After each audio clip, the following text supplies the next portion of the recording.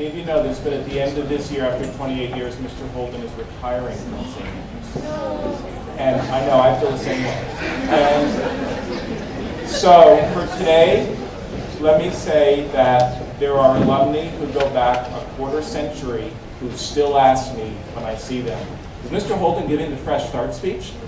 You will be one of those people, either at the end of this year or in several years, and you will be able to say, I was in the audience when Mr. Holden gave that Fresh Start speech in his final year.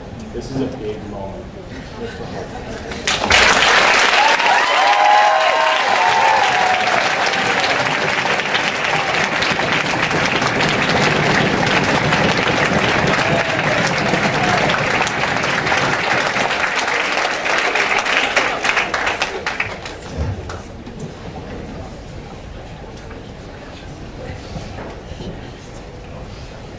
Good morning.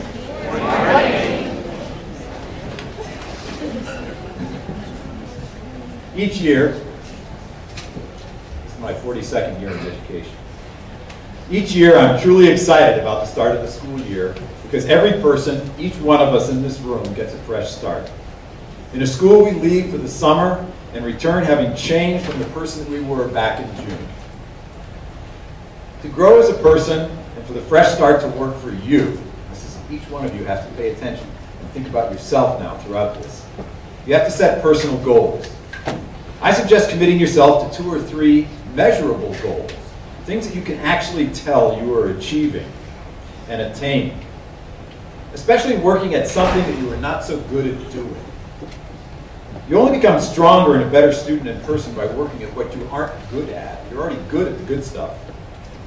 You get stronger by taking something that is not your strength. And it's hard to work at what you're not, what you most likely don't like to do. To work relentlessly, consistently, and to persevere at improving that aspect of your personality or skill as a successful student.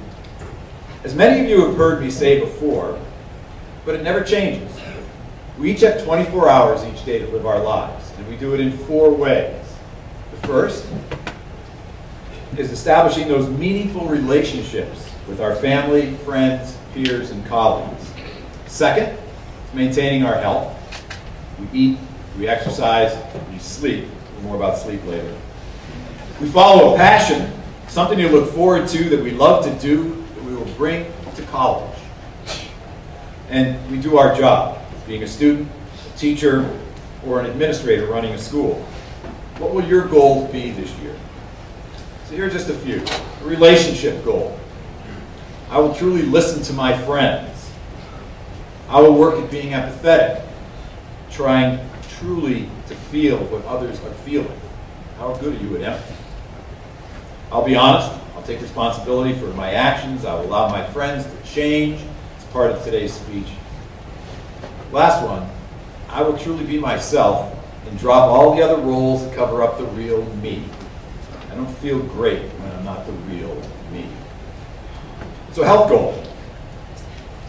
Three eating goals. I'll eat breakfast, three pieces of fruit, and only one soda a day. The exercise goal. I will exercise vigorously at least three times a week for 30 minutes.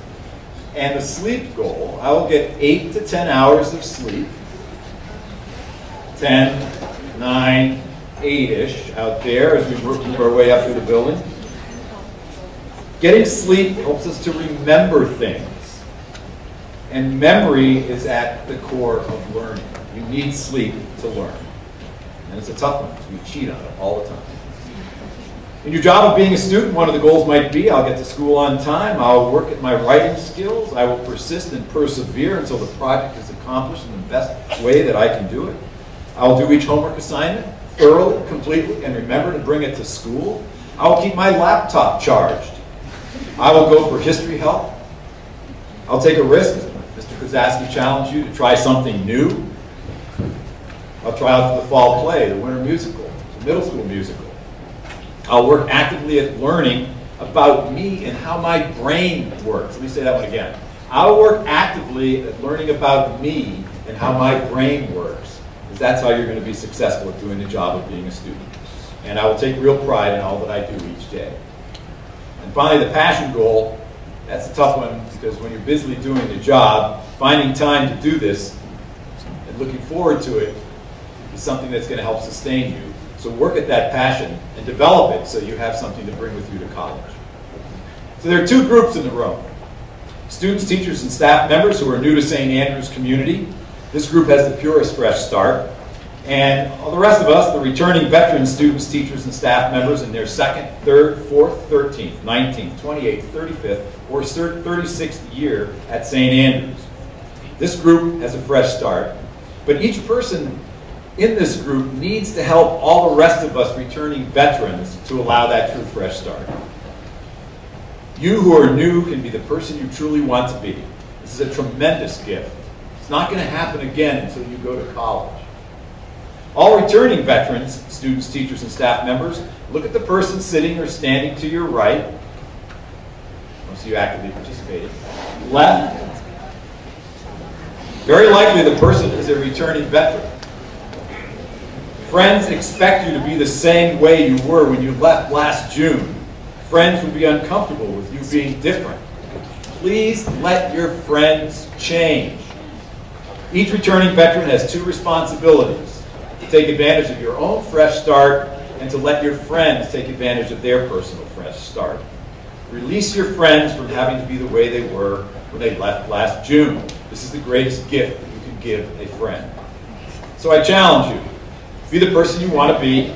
Remember that the only person you can control is yourself. The fresh start opportunity only comes once a year. Take full advantage of it and let your friends take full advantage of your fresh start. Each one of us has a responsibility to do both. It's time to get to first period, for which we're a little late right now. Please help those who are new to find their way and make it a great.